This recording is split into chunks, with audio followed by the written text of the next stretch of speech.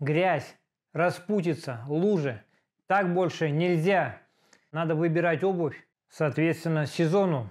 И я много смотрел, читал и остановил свой выбор на берцах «Легион» от компании «Армада». Берцы «Легион», модель М1501.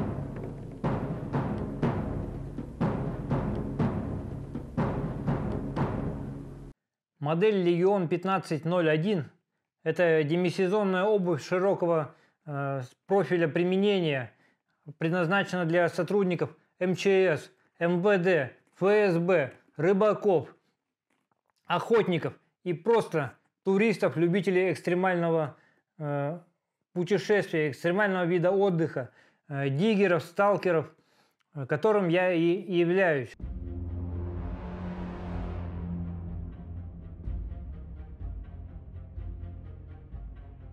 Подошва ботинка каучуковая, с высокой износостойчивостью. Масло бензоустойчивое. И смотрите, какой необычный протектор. Я такого еще не видел. Очень оригинально. Интересно, как он будет в действии. Метод крепления подошвы – прессовая вулканизация. Это когда верх ботинка садится на еще горячую подошву и становится практически одним целым. Очень такой инновационный метод, который везде сейчас используется. Но я еще такие э, не носил берцы. Посмотрим. Очень интересно, как это себя покажет. Для изготовления верха ботинка используется кожа флотер, а точнее сказать юфтевая кожа. Ее еще называют русской. Юфтевая кожа является одним из самых прочных материалов в обувной промышленности. Благодаря большому содержанию натуральных жиров, а их в юфте – порядка 25%. Кожа остается мягкой и прочной даже в самые сильные морозы, в любую погоду. Намокая, высыхая, кожа все равно сохраняет свои свойства. Согласно историческим источникам, русская кожа активно экспортировалась из России на Запад.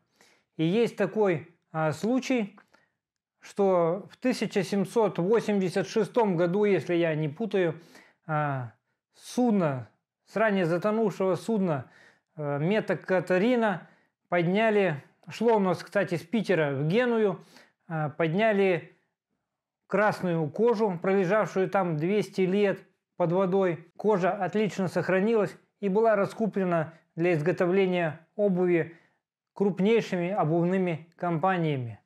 Этот вид кожи мягкий и отлично гнется, что способствует хорошей сохранности носки комфорту ноге, стопа хорошо себя чувствует.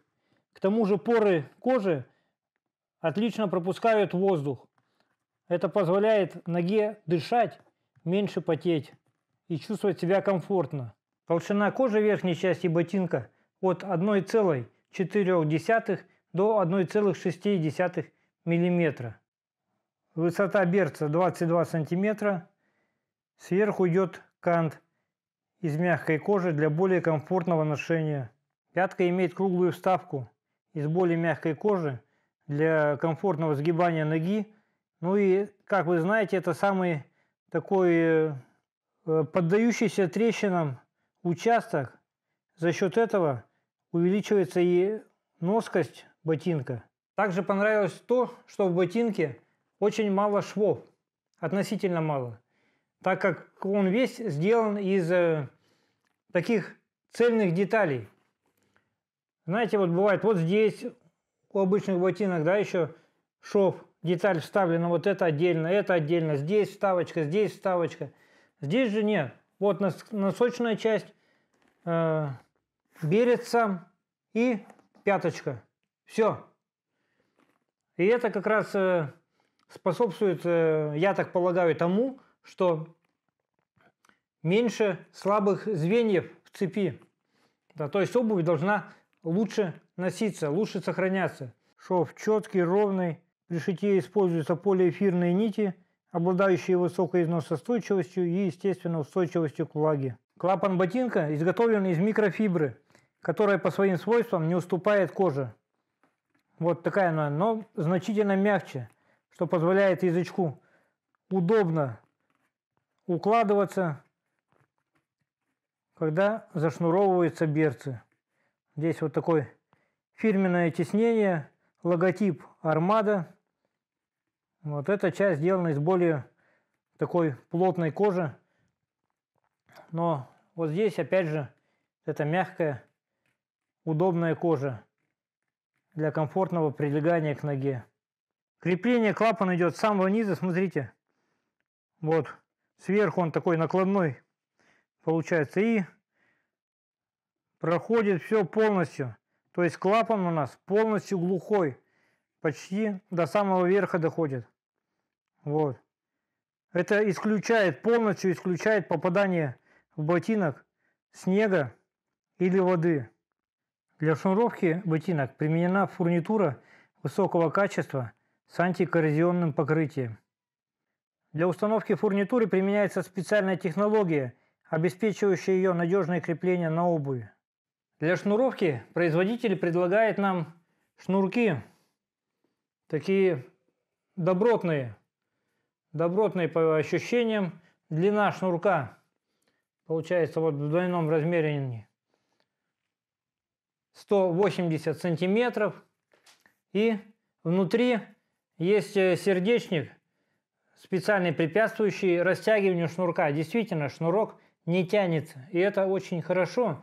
Э, то есть при намокании многие шнурки растягиваются. Обувь, которая была зашнурована четко, хорошо держала ногу, расхлябывается. Я думаю, что с этими шнурками такого не будет. Пришло время заглянуть внутрь ботинка. Что же там приготовила для нас армада?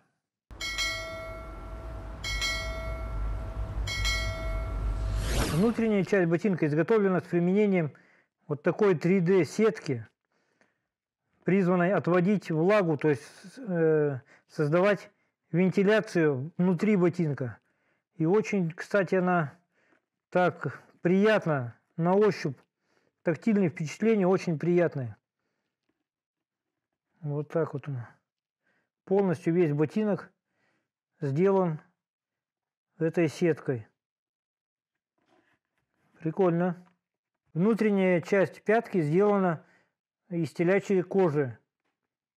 Толщиной 1 мм примерно где-то. То есть э, сетки там нет. Это место наиболее так часто поддается разрушению, трению. И поэтому оно вот усилено таким образом. Так, посмотрим, что же у нас со стельками. Там ее видно. Так, ну-ка достается не очень хорошо, и это хорошо. То есть стелька не будет хлябать, бегать. Вот такая она, смотрите.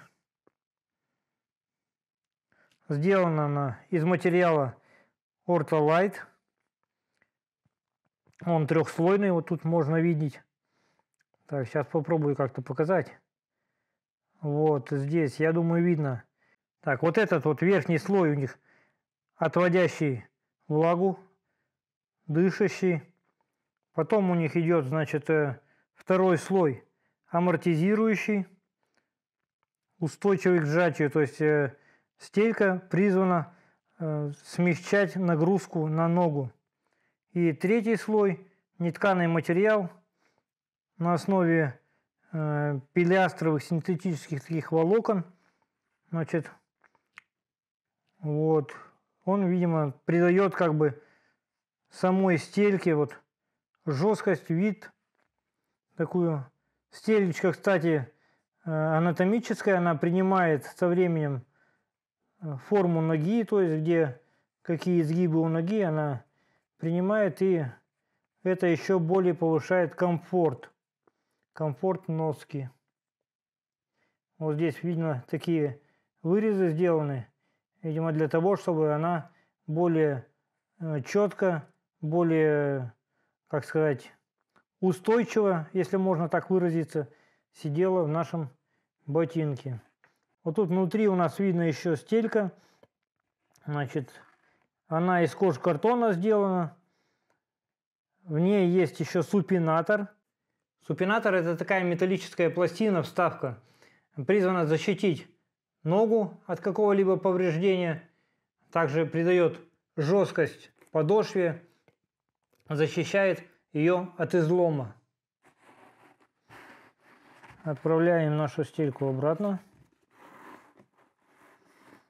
О, кстати, стелька вообще хорошо садится, вот нет проблем. На некоторых, из некоторых ботинок бывает достанешь стельку, потом невозможно поставить на место. Очень хорошо стелька все села, зашла.